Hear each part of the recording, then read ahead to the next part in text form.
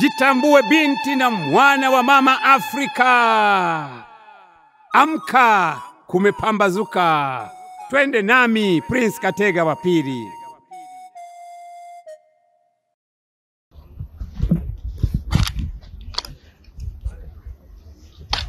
King Chihoma hoye! King Chihoma hoye! Narudia mara ya tatu. King Chihoma hoye! Ya. Sasa tofauti hapa nimesema king. Lakini wale tangulia watu wanasema chief. Sasa hilo tulirekebishe, huyu ni mfalme. Eh. Sisi tunakuwa ni wafalme. Eh. Lakini wazungu walipokuja tutawala kwa sababu waliacha wafalme kwao. Eh. King na queen wakasema ah, hawa ni machifu na sisi tukalibeba. Naomba kuanzia leo hawa watemi wetu tuwe tunawaita wafalme au Kiingereza king. Imeenda hiyo. Kwa hiyo ndio maana tunasema tunapomsifu rais wa nchi, na mimi pia na madress kama ni, ni paramount queen wa nchi yetu, kwa malkia mkuu eh, wa nchi yetu. Kwa hiyo nimeona nianze na hilo la kurekebisha lugha hapo, sababu na maneno mengi tunakuwa tunayakosea kwa sababu tu ya mazoea tulivyokuta huko mashuleni na kwingine. Mimi ni Mlangila, yaani mwana wa ufalme au Kiingereza wanasema Dr. Prince Katega wa pili, ndio linatumika kwenye mitandao, lakini ile prince ni sehemu ya, kwa sababu mimi ni mimi sio mfalme wa kwetu cha Mtwara Bukoba, ila ni mwana wa ufalme katika ukoo wetu wa kifalme, ila ufalme wangu naupata anapokuwa mwenyekiti wa muungano wa falme za Afrika. Kwa hiyo kazi yangu mimi ni mwanaharakati wa ukombozi wa fikra ya Mwafrika. Fikra yetu ndio problem, namna tunavyofikiri, na hii tumerithishwa. E, mkoloni akitaka ufikiri sawasawa eh, basi hawezi kukutawala tena, maana utajua hapa si kwetu mm. Lakini tukianza kufikiri sawasawa, ndio maana kama sisi eh, Mfalme Dr. Fadhili amegusia hapo mambo machache, sitarudia yale ambayo ameyasema, lakini yale ambayo hakusema nitayasema, kwa sababu sisi tunafikiri tofauti.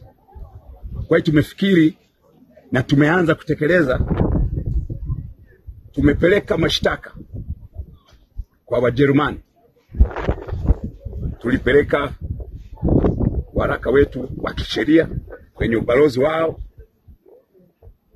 kwamba colonization nayo ni crime kama zingine. Sasa kwa sababu hatukuambiwa hivyo, tunaita wakoloni kama vile neno zuri eh? Mkoloni ni zaidi ya mwizi, maana yeye anakuja anakuvamia, anakuibia akiwa nyumbani kwako. Hiyo ni kubwa zaidi, lakini huwa hatulioni, hata viongozi nadhani hawalioni. Kwa hiyo sisi tumechukua hatua, tuliwapa miezi mitatu kwamba mtufate, msipokuja tuweke mezani, tunakwenda mahakamani. Na kweli hawakuja. Sasa mwanasheria wetu anatayarisha twende mahakamani, bado tunakusanya signatures. E, jambo ambalo nitaomba hapa litumike. Sijui kama kwa ratiba alikuwa ameshaliandika. Eh, tunataka wale ambao wana support. Hizi pesa, sio kwamba ni za shirika letu, zitakwenda serikalini. Ya? Serikali itapanga, lakini sisi tutapendekeza mambo machache.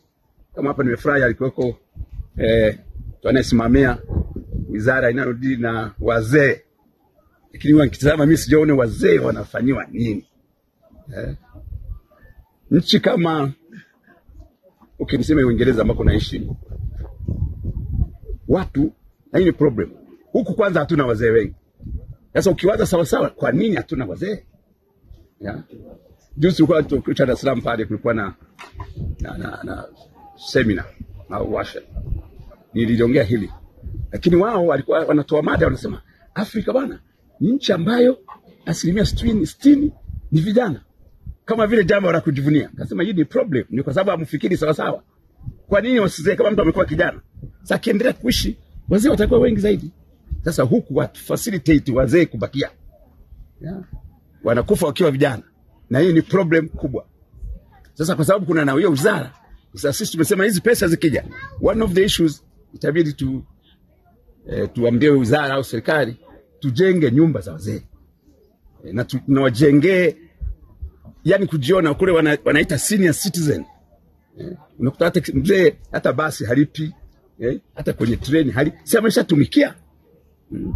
Kwa hiyo wazee wetu sisi tena hasa wa vijijini, manake kwa wale wafanyakazi akizeeka wanasema tunakupa pension.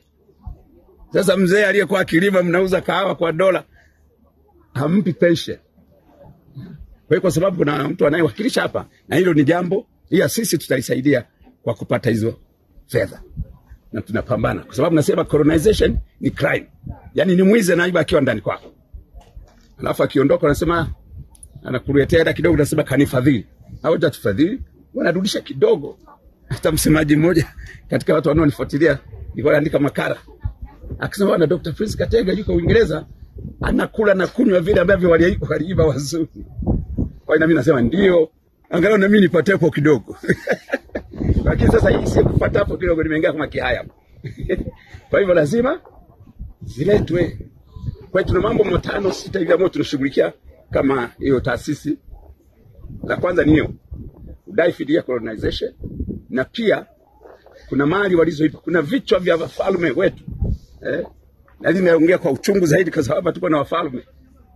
Leo hii serikali wakikuta na kidole cha albino unafungwa, si ndio? sijui miaka mingapi, lakini wao wana vichwa vya wafalme wetu. Eh, cha Mkwawa tu ndo walisema walirudisha, yeah. lakini vya kina Mange Media, kina Mange Sina, kina eh, Songea, kina wengi tu. Sasa anakaje na kichwa chetu yeah. Alafu sisi huku nasema huyo ni ushirikina. Sasa wao ni washirikina asilimia mia moja, lakini lazima tuyafanye, wavirudishe na kwa fidia, sio kwamba watuletee tu tuseme asanteni, no. Na mali zingine kama ma dinosaurs naita nini, mjusi ile ndio wasiliku- silikubali. Mjusi si kitu kadogo eh, yali wanyama wanyama wakubwa ambao walikuweko Kilwa, basi wamebeba wako huko wanapata hela, wametengeneza moja kule Ujerumani, sasa warudishe na kuwafidia. Sasa hayo ni mambo baadhi ambayo tuna tunafanyia. Moja zaidi ambalo nam, nampongeza Paramount Queen Angaya Samia Suluhu Hassan dokta ni kuanzisha hii Royal Tour. Sasa neno royo naona linahusisha ufalme, na kwa sababu yeye she's a, eh, ndo royal number one. Sasa hapa tunachosema hapa kuna mambo mawili, sio utamaduni, hapa kuna kiroho. Kwa mimi napenda kusahau viongozi wa hapo hapa kwamba tuwe na spiritual tourism, yani sio culture tu, lakini na mambo ya kiroho. Kwa hiyo hapa tunapokuja, tambiko ni jambo la kiroho. Kwa hiyo utalii wa kiroho, sehemu nyingi watu wanafanya tambiko, lakini eh, sijui kama serikali wameshaliona, ila tulione, tufanye kama hamu. Kuna sehemu mbalimbali, kuna vitu vitu ambavyo vina nakuta mtu ukiingia kama Karagwe huko kwetu anapona, na tiba zetu za asili nazo zihusishwe, kwa sababu ni kiroho hicho, sio utamaduni. Ya, baada kusema hayo eh, namaliza tena kusema King Chioma hoye, asanteni sana.